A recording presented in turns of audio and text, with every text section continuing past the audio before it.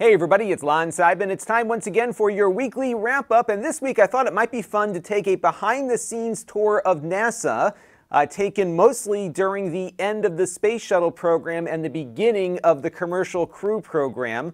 Uh, we went down there a lot during that period of time and did a lot of coverage. And I've got a lot of cool photos that I never showed you before, so I think it might be kind of fun to take a look at it this week. So let's get to it.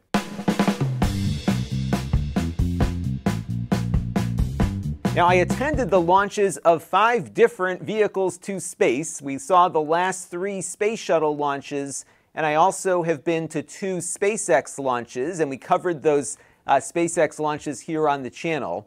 Uh, the very first thing I attended was the STS 133 NASA Tweet Up.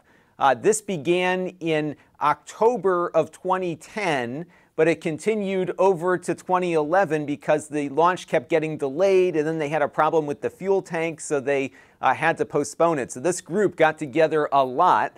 Uh, because we were all waiting to try to get this space shuttle off the ground, and it was a lot of fun. Now, NASA does this still. They call it NASA Social now. And I would suggest you keep an eye on posts from NASA about their socials because you get invited down to the NASA press site uh, so you're there where all the other media are, and it's probably the best place uh, to witness a launch. And they put together a really nice program. You hear from astronauts, you take a tour of the facility. You do have to pay to get yourself down there, but uh, you are invited into NASA facilities after that. And I highly recommend uh, to do this if you have an interest in the space program.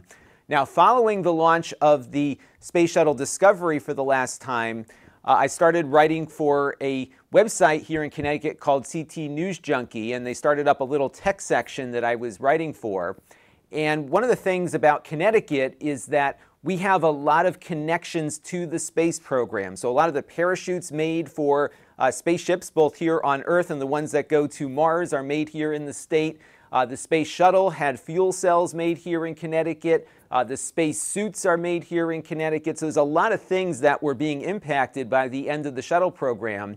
Uh, so I started writing about them for CT Tech Junkie, and then I uh, applied to NASA for press credentials to follow this story to the end, uh, which is the launch of these uh, final space shuttle missions. And they agreed to have me come down as a member of the media, which was awesome.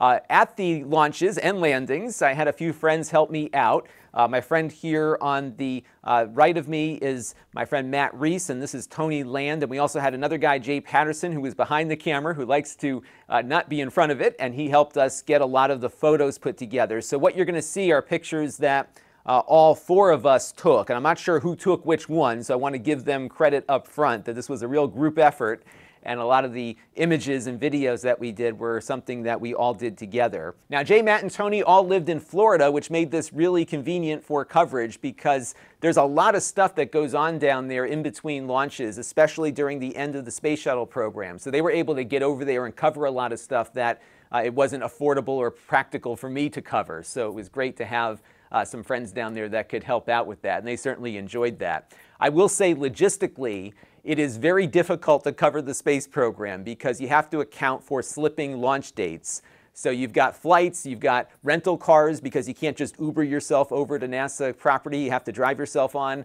Uh, and then, of course, you've got the hotels. Now, the hotel we stay at is this little Best Western, which is uh, right on the road that leads to the Space Center. And they've got a Waffle House attached, which is great. It's very affordable. It's a great little place. I think they call it the Space Shuttle Inn or something, but that's been our go to uh, hotel for many years now. And then Southwest is the airline I often use for flying down there because uh, the launch dates, again, are changing all the time, so it's nice to have an airline that doesn't uh, ding you for changing your ticket. So uh, Southwest was the way we went there. Rental cars are always a nightmare to rebook, but we managed to get it all done and see some of these launches. Now, closer to home, I was able to cover some things that my friends in Florida couldn't do. Uh, this is the lobby of what used to be called Hamilton Sundstrand, where they make spacesuits for the space program. They uh, go back to the Apollo days and earlier. Uh, the spacesuits that are currently in use on the space station are made there, and they also do a lot of the environmental controls on the space station. And they took me on a just a fantastic tour. I've got an article about it on, on CT Tech Junkie that I'll try to link to down below. Saw all sorts of stuff, including things like this vacuum chamber where they were testing out uh, some different devices. And one of the challenges that they were working on at the time was reclaiming uh, moisture from the air to turn it back into drinking water because one of the things that the end of the shuttle program meant was that they were not getting as much water delivered to the station rolling forward because the space shuttle uh, used fuel cells and the waste product of those fuel cells, which were used to generate power on the space shuttle, uh, was essentially pure water that they could pump right into the space station and use for drinking and cleaning and everything else and that was changing. So they had to figure out some new technologies to efficiently reuse water from the air, essentially, in addition to all the other uh, urine recycling efforts that you've probably heard about. It's all real, and it was awesome just to see everything being uh, made and tested there. And all the equipment that they were making there were really kind of one off devices because these are used for a very specific purpose, the space station and they have to be very reliable because you can't just bring them down to repair them on a regular basis. You have to really uh, be able to not only get the stuff up there, but work on it in orbit if need be. So it's a very uh, complicated business, and it was really cool to get such a tour. And speaking of fuel cells, we also took a tour of what used to be called UTC Power here in Connecticut.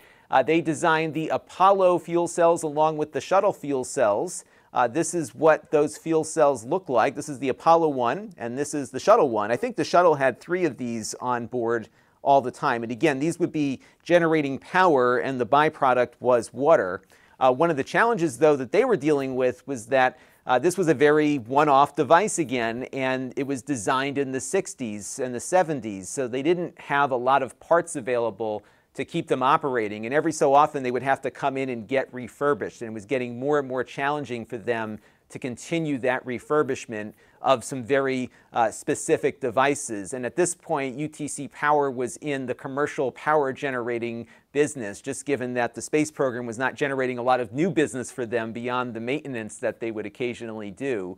Um, so it was getting harder for them uh, to keep their business going and support the NASA mission, which of course made it more expensive. Another uh, reason as to why the shuttle had to be decommissioned was its power source here, along with many of the other aging components on there.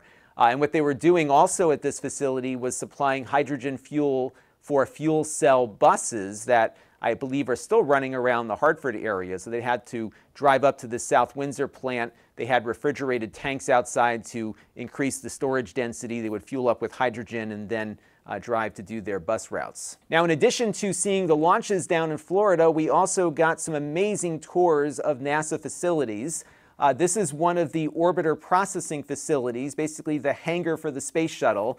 Uh, these are now used by uh, customers, as they call them, at the Kennedy Space Center, including the military and uh, some of the commercial spaceflight companies. So these have been kind of turned over to other users at this point. Uh, this cutout here was where the uh, shuttle's tail fit in, and it's amazing just how tight the fit was inside of these buildings. And it had to be this way so that workers could essentially access every surface of the shuttle. Uh, so you can see just how tightly packed in it is. This is the uh, back of the shuttle's wing here is what you're looking at. And you can see there's access points everywhere for uh, workers to get in there. Uh, this is the nose gear. They had to change the tires after every flight. Um, they were advising us not to touch anything because if we happened to touch the wheel the wrong way, some sensors would get disconnected and they'd have to do the whole thing over again. So it was very delicate uh, and a very uh, precise amount of uh, work that had to go into each one of these refurbishments.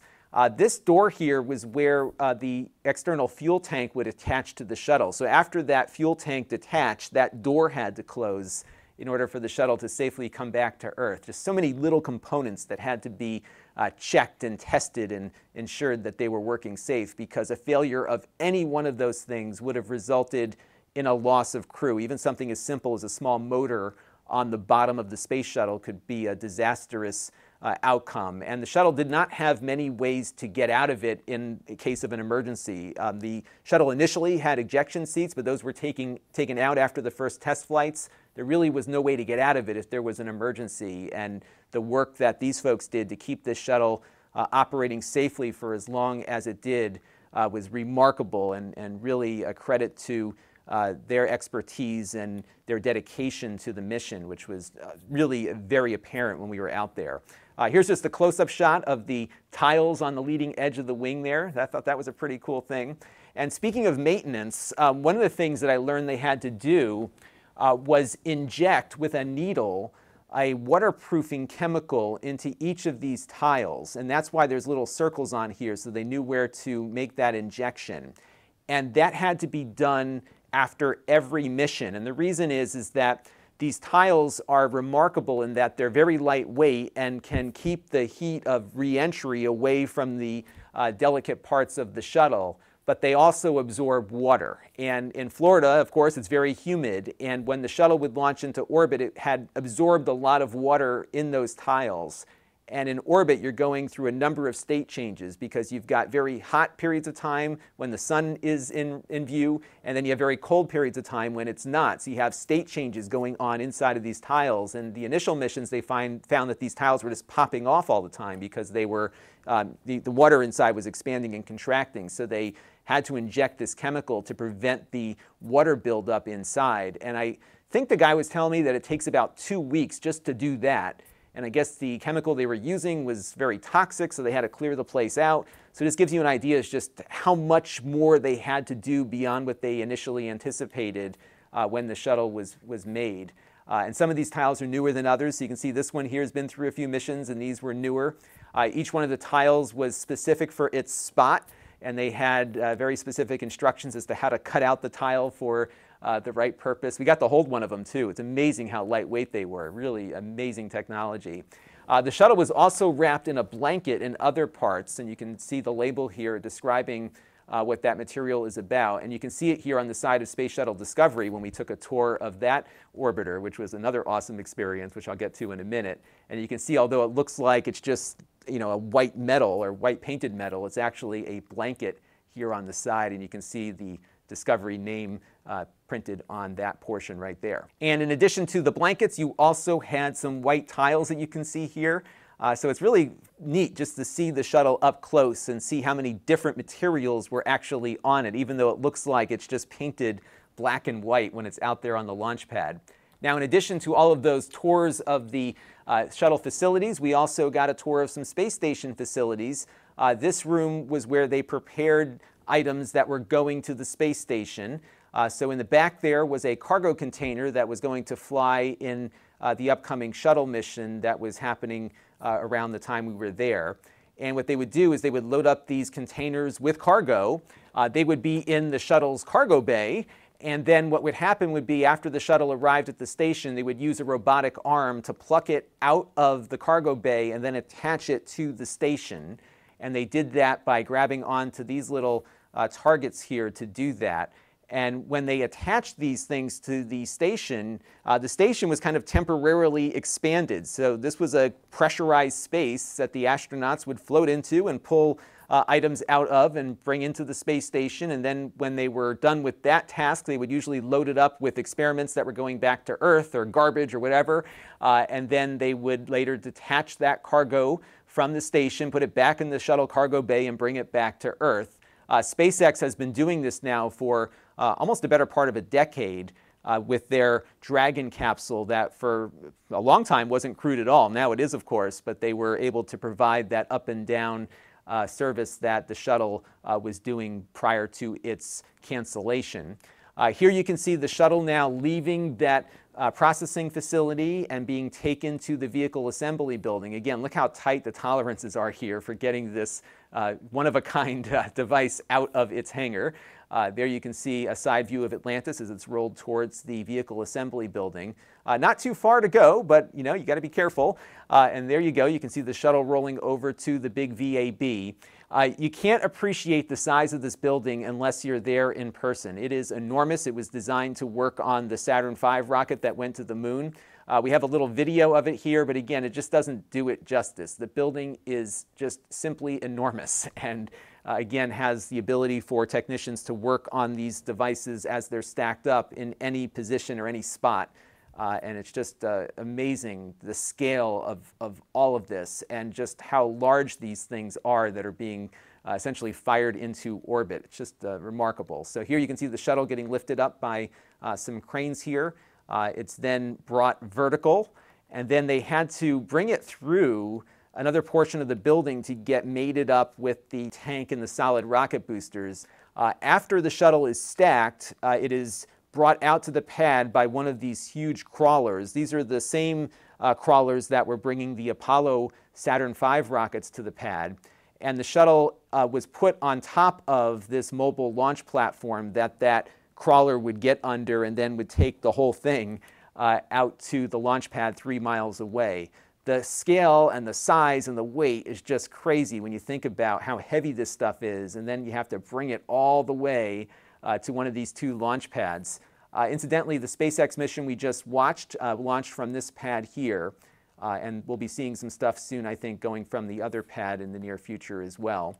Uh, then once the shuttle is out there, it is where you typically see it, on the pad and ready to go. Now this structure here was called the Rotating Service Structure, or RSS, and it would enclose the shuttle up until the night before the launch. And one of the events that the press always looked forward to was the RSS retraction event where they would bus you out to the spot that you see here in the photo and you would watch them very slowly pull that uh, thing back to reveal the shuttle. I've got a couple of videos that you'll find in my NASA playlist down below of a time lapse of that retraction. It was really cool to see in person.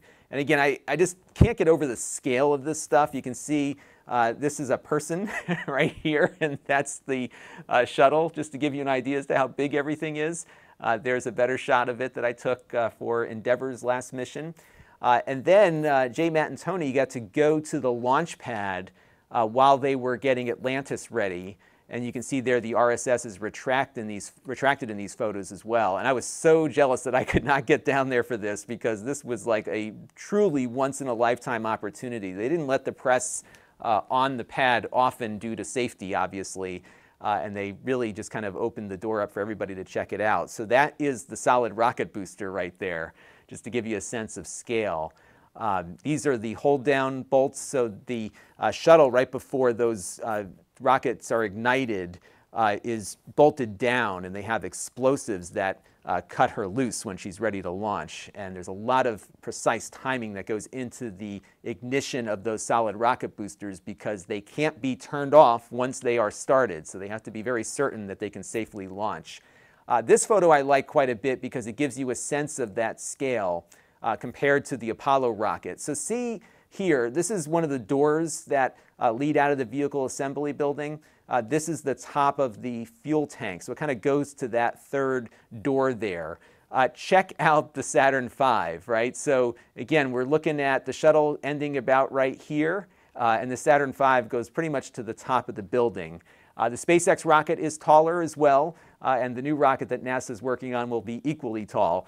And I thought this photo was a great way to kind of get a sense of that overall scale of the Saturn V rocket that took people to the moon. Now this special room I believe is called the last bathroom on Earth. It's located about 195 feet up on the launch tower.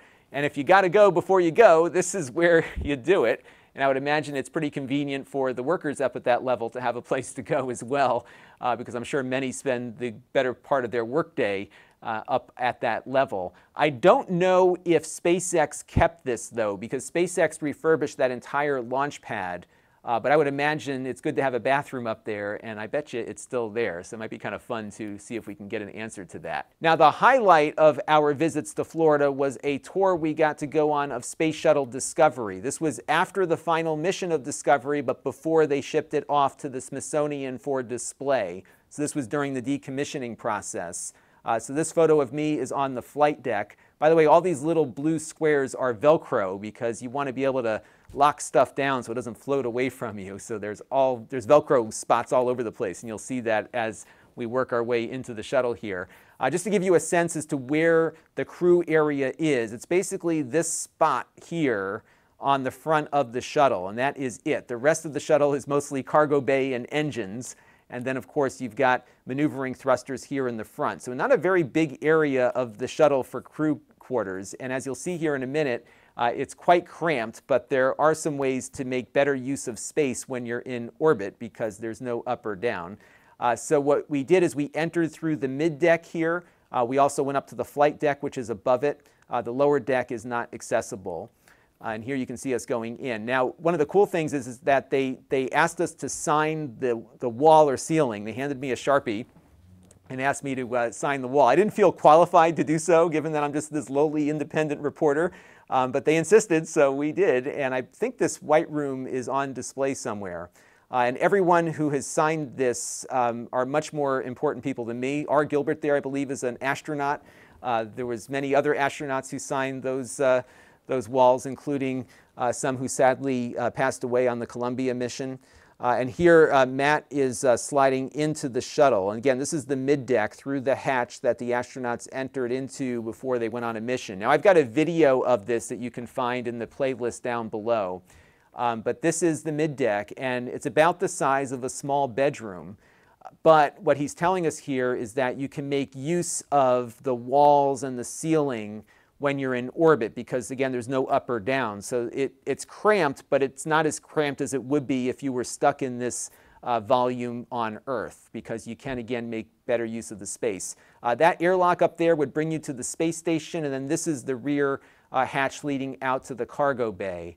And it was just awesome to get that shot just because uh, that was something that we often saw as kids uh, in, uh, in school leading out to the cargo bay in orbit uh, this is the flight deck. It's not very big. I would say it's about the size of like a small minivan in there.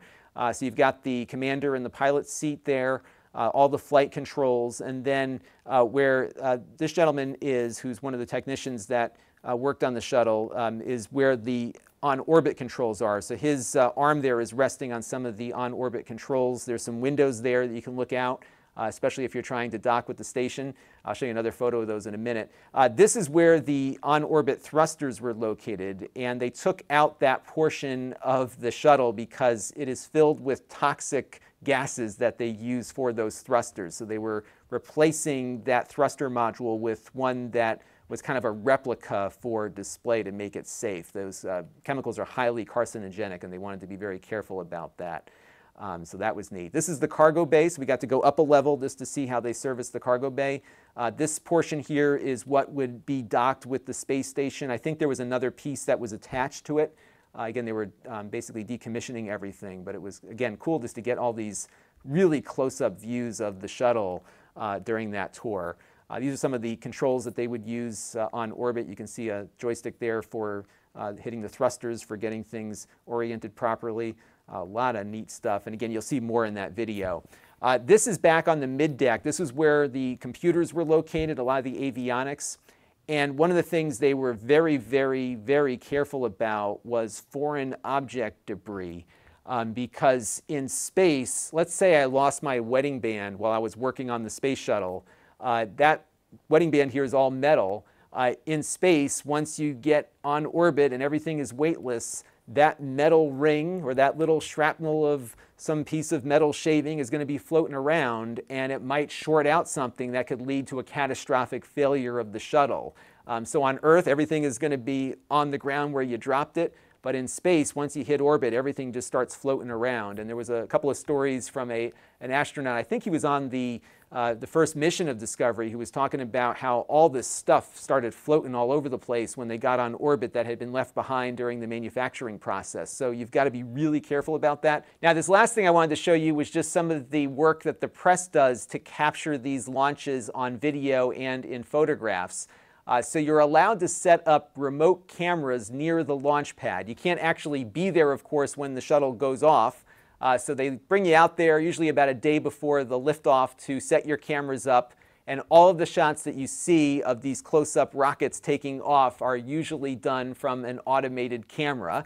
Uh, and there's all sorts of different ways to get those cameras to fire off. In fact, every one of these photographers has some different contraption and strategy for it. Uh, and depending on when that launch is going to be will also depend on how early in the morning you have to get up to be out there. So we were out there at sunrise for this particular setup time. And these were the cameras that uh, Matt, Jay, and Tony and I set up. Uh, we used mailboxes to protect the cameras, and then we duct taped some plastic bags to them. And these are just like standard Nikon SLRs on these uh, tripods here. And then Matt set up an acoustical sensor so that it would start firing the shutter uh, when those rocket engines lit up, and we had it set to a very high setting given how loud they are. Uh, some other folks just had a very simple timer because the shuttle liftoff time uh, was very predictable if it was going to go, and the launch window was usually fixed at about 10 minutes. So a lot of folks just put a big memory card in their camera, and they had a timer start firing the cameras off uh, right around the time of launch for 10 minutes just to be sure to cover the full launch window. uh, but we went with uh, an audio sensor. Uh, and then we got lucky on our first outing because our second uh, try with this did not go as well.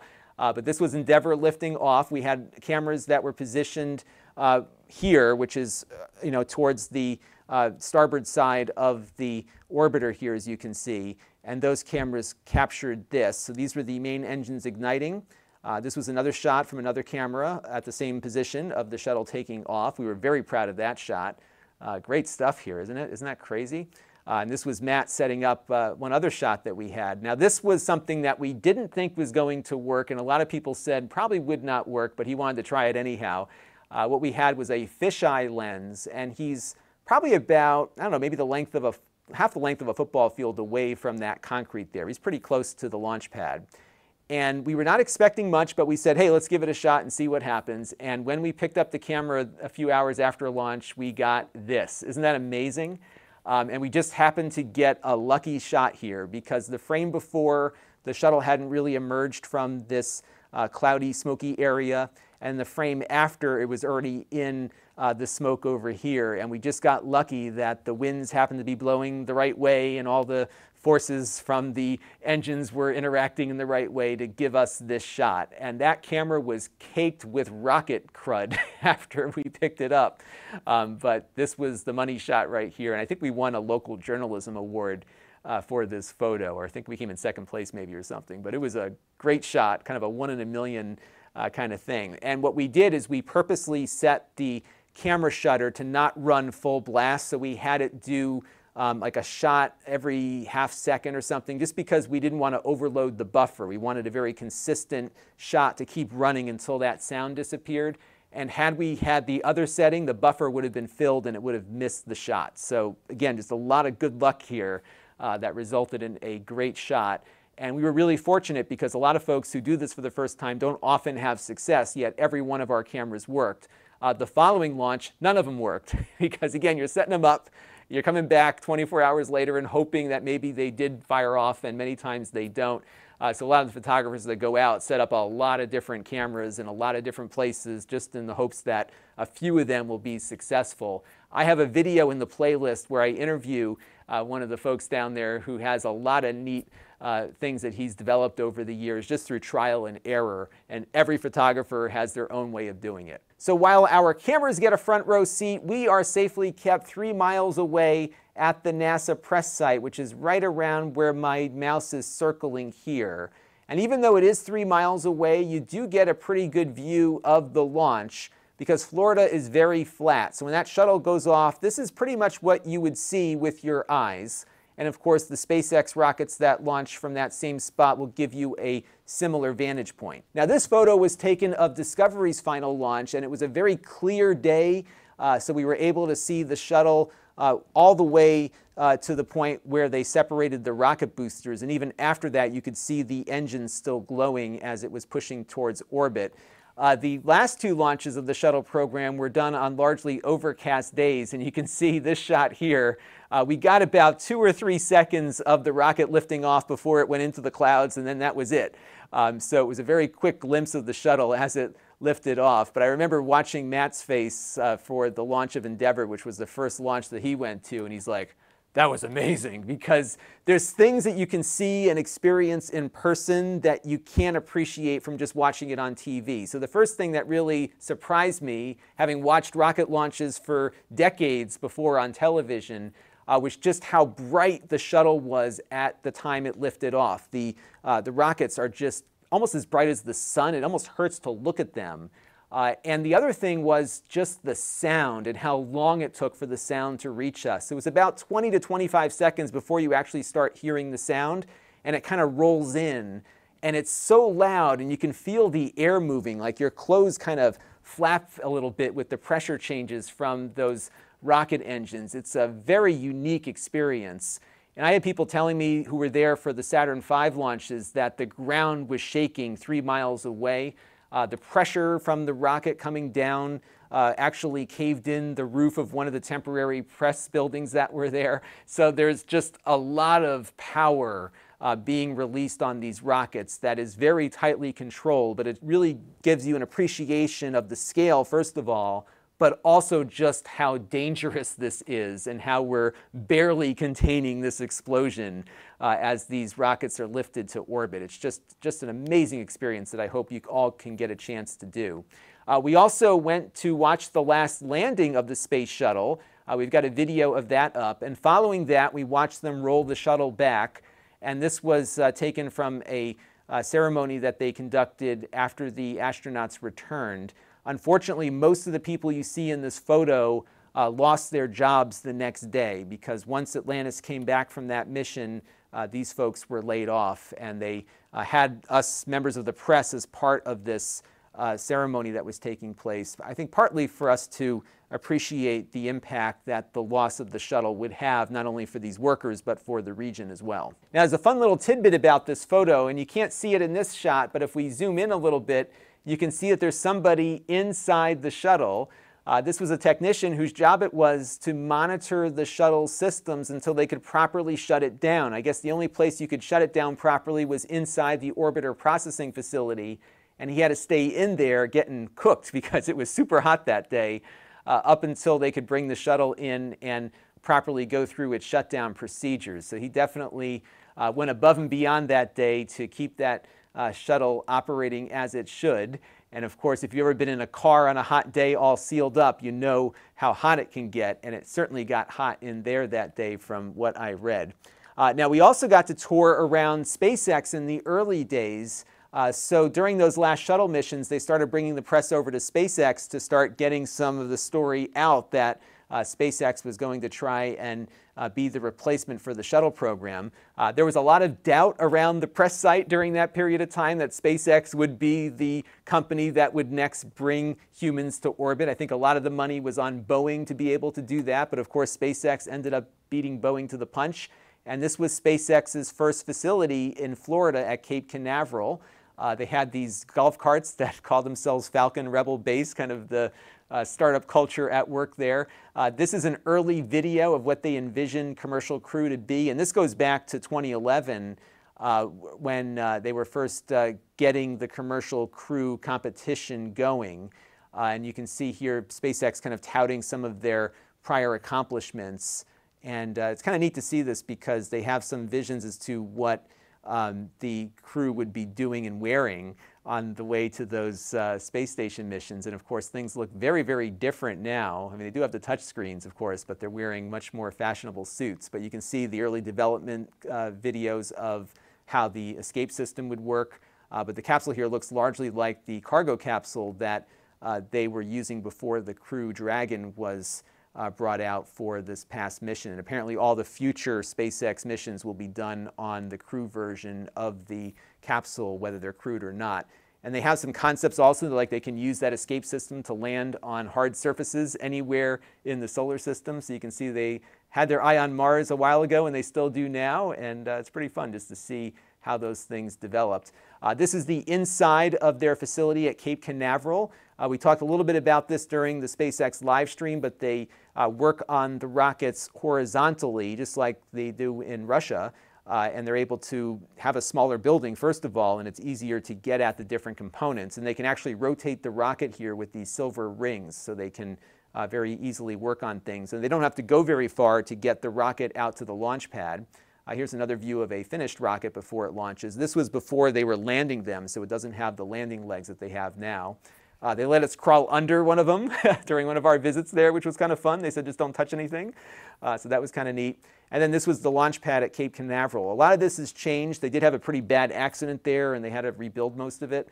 Um, but uh, the, the pad is very, very close to the building, and they just kind of roll it out and then go vertical with it. And they do that same thing at 39A, uh, where the uh, crewed mission just left from. Very similar concept, not a very long distance to go there. Uh, this was the first orbital capsule that SpaceX launched. They had that on display uh, during that last space shuttle mission, again, to demonstrate that they have the ability to go to orbit as well. Uh, and that was pretty neat to see there too. So I hope you enjoyed this look back at the end of the space shuttle program and the beginning of the commercial space flight era. Uh, we've been doing commercial cargo flights for a while, but the crewed commercial flights just began, and that was something that uh, everyone a decade ago when I was doing this coverage uh, was hoping would happen, and it finally did. It took a while, but they got there uh, just under 10 years, and now we'll see what happens next. I think there's going to be many more people traveling more frequently to space now that the price has been brought down and they can more quickly turn these space vehicles around to get them back into orbit. And I'm looking forward to occasionally bringing you more of this uh, content in the future. And a lot of what I started doing back then uh, became the channel that you see today because I was filling in the gaps in between space stories with tech coverage. Uh, we've always been focused on general audiences. So, yes, there are a lot of great space channels out there, but I was trying to cover space from the standpoint of why should a general member of the public care? And uh, that's what I continue to do. So, I'm really uh, excited to bring more of this content to you in the future, and I'm very grateful for the experiences that I had and all the things that I learned that uh, led to this channel becoming a full time job. Now, this week's wrap up is being brought to you by all of you. We had a bunch of super chatters this week during my live streams. That includes Carol and Zam, Travis Rhodes, Matthew Stevenson, Clean937 Samuel, Cajoling Technologies, and Tech Flood. We also have some new supporters to thank who contributed via the many ways in which you can contribute. Uh, Bill Pomerantz contributed to us as a gold level member. I want to thank him for his contribution. We're going to be changing the uh, end credit rolls later this week, so stay tuned for that. Uh, Justin Darner uh, contributed via our donor box page, and Keith McDermott contributed via the YouTube membership program. I want to thank everyone for their contributions to the channel this week and everyone who's been supporting the channel on an ongoing basis. I also want to thank all of you who watch on a regular basis too, because all of those things equal channel growth. And if you want to help support the channel, you can. You can go to lon.tv slash support and make a monthly or a one-time contribution to the channel. Uh, we also, of course, support that YouTube membership program I mentioned earlier, and you can find that button right down below. So for the weekend review, we had two live streams. We did a quick one yesterday on the new Command and Conquer Remastered that just came out. I'm not very good at the game, but I have very fond memories of playing it uh, back when it first was released, and now they have a new version that uh, has some upgraded graphics, but really plays identically, I think, to the original. I'm just as bad at this one as I was at the original game. Uh, you can watch me play it there on the live stream. I indexed that one so you can very quickly jump around to see some of the features of this remastered classic. Uh, we also took a look at that Acer Swift 3 that we reviewed on the main channel. Uh, this was the unboxing and initial testing that we did the other night. A lot of you tuned in for that. On the Extras channel, I unboxed another AMD Ryzen uh, chip based machine. Uh, this is the Lenovo Flex 5, which has the 4500U, and we took it apart to see what was upgradable on it. We'll be reviewing that a little later this week. On the main channel, we had a review of the TCL 10L Android smartphone, a really good value actually, beautiful display on it. Uh, we also looked at the Mevo Start again because they did update the NDI feature since we last looked at that product, and I wanted to do an update to give it a more fair representation. So you can see that link down below in the master playlist. And of course, the most popular video of the week was the Acer Swift 3 that we were playing around with on that live stream. Uh, this is a much more condensed review of it. And I am super impressed by these new Ryzen processors. This is a, uh, an exceptionally uh, well-performing laptop that's not all that expensive. And I think it might be a really good option for uh, folks going back to college in the fall. So definitely check out uh, that video, especially if you're looking for something inexpensive that can play games somewhat decently. It's a, definitely a good piece of hardware there.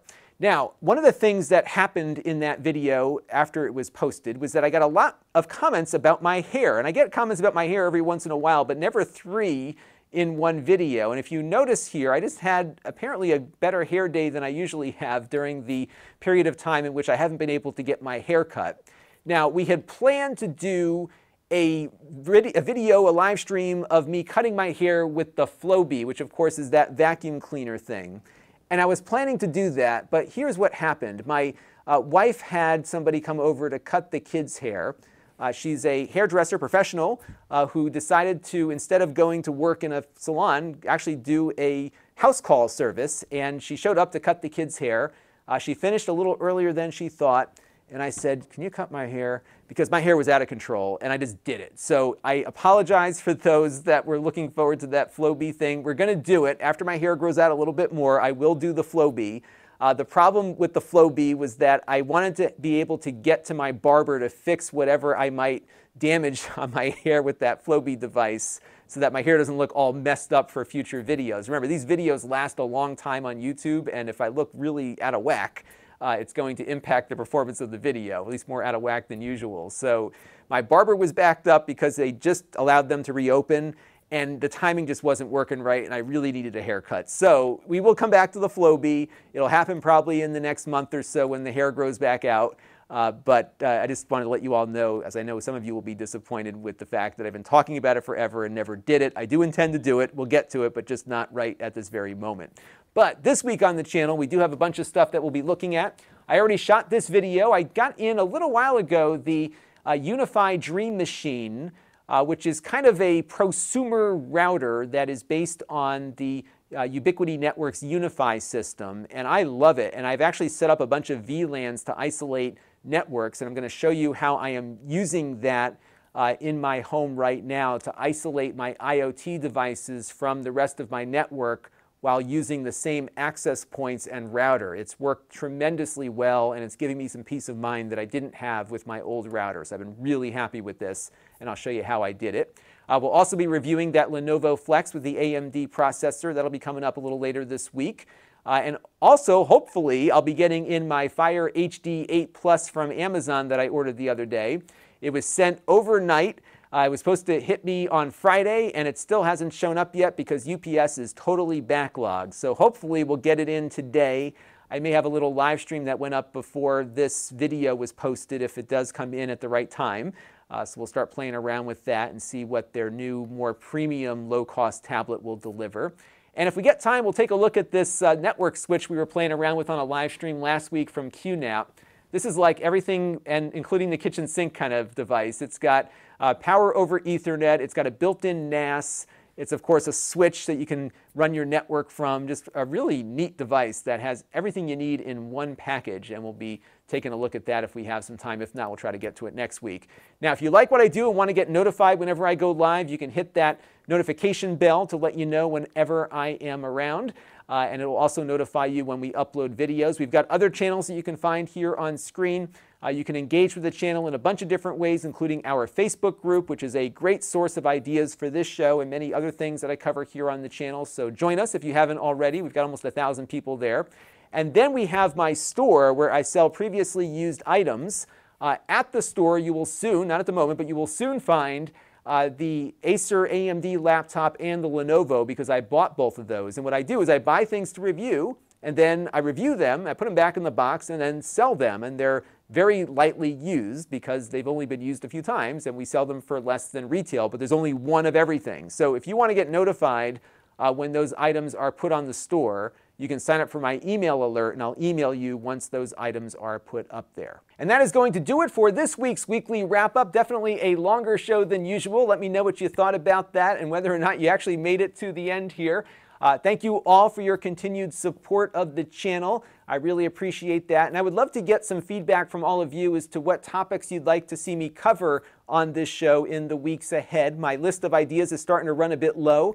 Uh, so let me know down in the comments section or over on the Facebook group uh, because that'll certainly help plan out uh, the next month or two. That's going to do it for now. Until next time, this is Lon Seidman. Thanks for watching. This channel is brought to you by the Lon.TV supporters including gold level supporters, the Four Guys with Quarters podcast.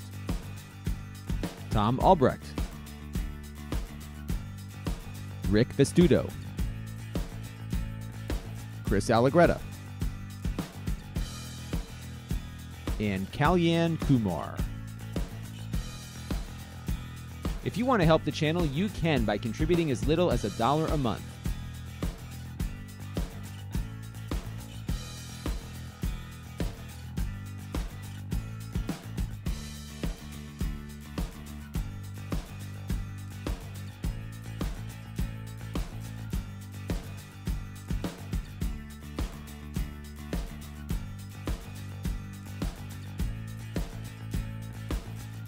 Head over to lon.tv slash support to learn more.